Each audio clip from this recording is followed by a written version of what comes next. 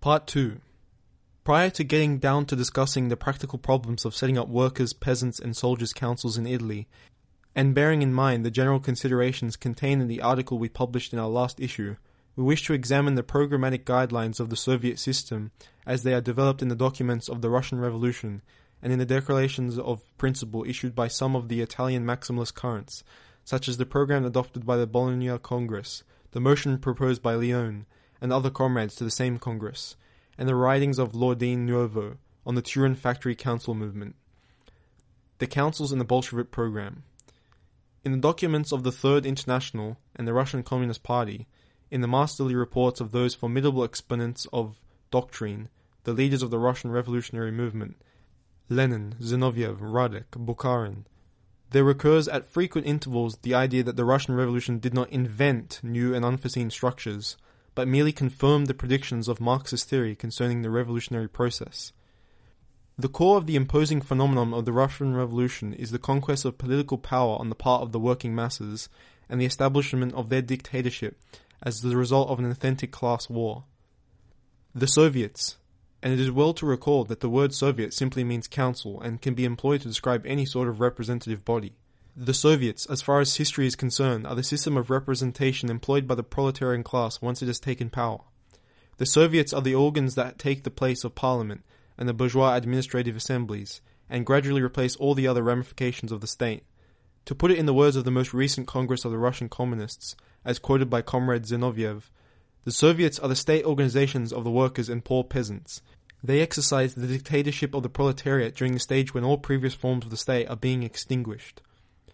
In the final analysis, this system of state organizations gives representation to all producers in their capacity as members of the working class, and not as members of a particular trade or industrial sector.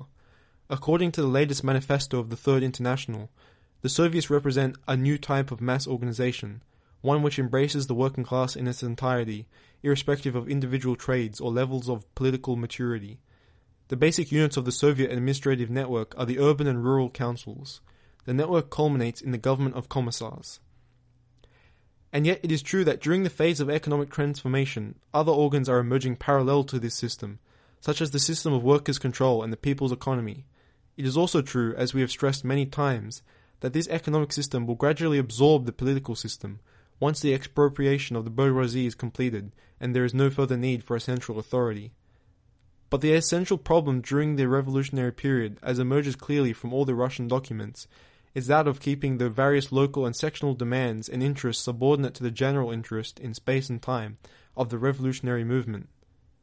Not until the two sets of organs are merged will the network of production be thoroughly communist, and only then will that principle, which in our view is being given exaggerated importance, of a perfect match between the system of representation and the mechanisms of the productive system be successfully realized. Prior to that stage, while the bourgeoisie is still resisting, and above all, while it still holds power, the problem is to achieve a representative system in which the general interest prevails. Today, while the economy is still based on individualism and competition, the only form in which this higher collective interest can be manifested is a system of political representation, in which the Communist political party is active. We shall come back to this question and demonstrate how the desire to over concretize and technically determine the Soviet system especially when the bourgeoisie is still in power, puts the cart before the horse, and lapses into the old errors of syndicalism and reformism. For the moment, we quote these non ambiguous words of Zinoviev. The Communist Party unifies that vanguard of proletariat which is struggling, in conscious fashion, to put the Communist program into effect. In particular, it is striving to introduce its program into the state organizations, the Soviets, and to achieve complete dominance within them. To conclude, the Russian Soviet Republic is led by the Soviets, which represent 10 million workers out of a total population of about 80 million. But essentially, appointments to the executive committees of the local and central Soviets are settled in the sections and congresses of the Great Communist Party, which has mastery over the Soviets. This corresponds to the stirring defense by Radek of the revolutionary role of minorities. It would be as well not to create a majoritarian workerist fetishism, which could only be the advantage of reformism and the bourgeoisie, the party is in the front line of the revolution insofar as it is potentially composed of men who think and act like members of the future working humanity, in which all will be producers harmoniously inserted into a marvelous mechanism of functions and representation. the Bologna program and the councils. It is to be deplored that in the party's current program there is no trace of the Marxist proposition that the class party is the instrument of the proletarian emancipation. There is just the anodyne codicil. Decides. Who decides? Even grammar was sacrificed in the haste to decide in favor of elections. To base the organization of the Italian Socialist Party on the above mentioned principles. As regards the paragraph which denies the transformation of any state organ into an organ of struggle for the liberation of the proletariat, there are certain points to be made but it will have to be done on another occasion, after an indispensable previous clarification of terms. But we dissent still more strongly from the program where it states that the new proletarian organs will function initially, under the bourgeois regime, as instruments of the violent struggle of liberation, and will subsequently become organs of social and economic transformation. For among the organs mentioned are not only workers', peasants', and soldiers' councils, but also councils of the public economy, which are inconceivable under a bourgeois regime, even the workers' political councils should be seen primarily as vehicles for the communist activity of liberating the proletariat. Even quite recently, Comrade Serrati, in flagrant opposition to Marx and Lenin, has undervalued the role of the class party in the revolution. As Lenin says, together with the working masses, the Marxist, centralized political party, the vanguard of the proletariat, will lead the people along the right road, towards the victorious dictatorship of the proletariat, towards proletarian, not bourgeois democracy, towards Soviet power and socialist order. The party's current program smacks of libertarian scruples and a lack of theoretical preparation. The Councils and the Leone Motion. This motion was summarized in four points expounded in the author's evocative style. The first of these points finds miraculous inspiration in the statement that the class struggle is the real engine of history and that he has smashed social national unions. But then the motion proceeds to exalt the Soviets as the organs of revolutionary synthesis, which they are supposed to bring about virtually through the very mechanism of their being created. It states that only Soviets, rather than schools, parties, or corporations, can bring the great historical initiatives to a triumphant conclusion. This idea of Leone's, and of the many comrades who signed this motion, is quite different from our own, which we have deduced from Marxism and from the lessons of the Russian Revolution.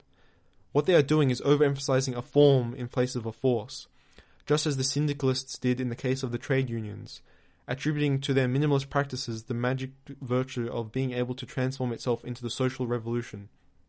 Just as syndicalism was demolished in the first place by the criticism of true Marxists, and subsequently by the experience of the syndicalist movements which all over the world have collaborated with the bourgeois regime, providing it with elements for its preservation, so Leone's idea collapses before the experience of the counter-revolutionary, social democratic workers' councils, which are precisely those which have not been penetrated successfully by the communist political program.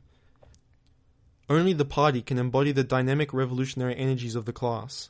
It would be trivial to object that socialist parties too have compromised, since we are not exalting the virtues of the party form, but those of the dynamic content which is to be found only in the Communist Party. Every party defines itself on the basis of its own program, and its functions cannot be compared with those of the other parties, whereas of necessity, all the trade unions, and in, even in a technical sense, all the workers' councils have functions in common with one another. The shortcomings of the social reformist parties was not that they were parties, but that they were not communist and revolutionary parties. These parties led the counter-revolution, whereas the communist parties, in opposition to them, led and nourished revolutionary action, Thus, there are no organs which are revolutionary by virtue of their form. There are only social forces that are revolutionary on account of their orientation. These forces transform themselves into a party that goes into a battle with a program. The councils and the initiative of L'Ordine Nuovo in Turin. In our view, the comrades around the newspaper L'Ordine Nuovo go even further than this.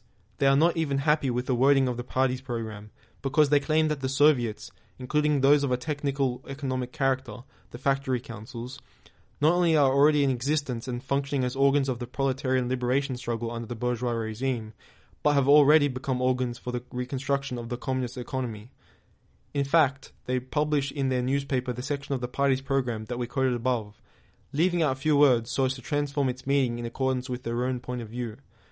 They will have to be opposed by the proletarian organs, workers, peasants, and soldiers' councils, councils of the public economy, etc. Organs of social and economic transformation and for the reconstruction of the new communist order. But this article is already a long one, so we postpone to our next issue the exposition of our profound dissension from this principle, in our view, it runs the risk of ending up as a purely reformist experiment, involving modification of certain functions of the trade unions and perhaps the promulgation of a bourgeois law on workers' councils.